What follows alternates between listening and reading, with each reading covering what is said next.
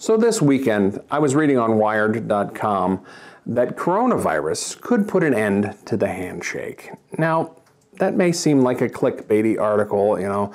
Should you stop shaking hands? The answer may surprise you. Well, actually, the answer doesn't surprise you because it's pretty straightforward. For the time being, shaking hands might be something you want to question.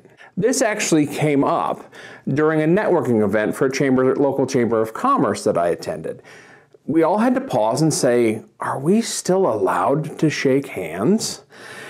Now, in the career field, and when you're meeting somebody new, a handshake is considered uh, sort of a physical shorthand for your character. How firm or how good your handshake is supposedly speaks something about you. Now, I don't necessarily buy into that, but it is an important sort of emotional connection that you make with another person through touch. Now, in the current issue that we're having with COVID 19, not necessarily the best idea. There have been several suggestions as to what we're supposed to do, and instead of ha shaking hands, some of them silly, some of them not so silly. We discussed them around the table, and here's what we came up with. The first thing that was suggested was that we bump elbows, which I have to admit is probably the most ridiculous thing I've ever heard. Don't do it, please, please don't do it. Why? Because number one, you're not doing the hustle. Number two, didn't the CDC tell us that we're supposed to cough into our elbows? Why would we, if that's where we're coughing, that's where we're putting the germs, why would we want to bump elbows? Please don't do that. The second was the Vulcan salute. Live long and prosper. Now, I'm an avid Trekkie. I have been since I was little. But come on, let's not do that. Please, please don't do that. Unless you're in IT, at which point that's perfectly acceptable.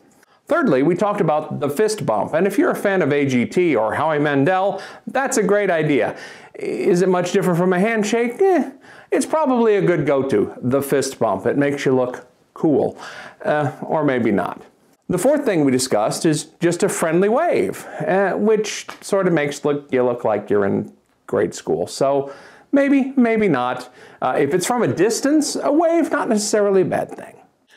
You might also consider the peace sign, the good old-fashioned hippie peace sign.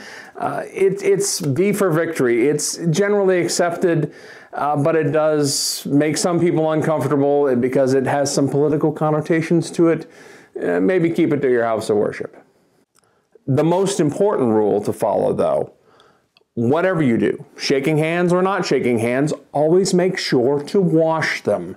Please, it can't be said enough, so that's why I'm saying it now. Do it for yourself, do it for your family, do it for everyone around you and your pets. Please wash your hands.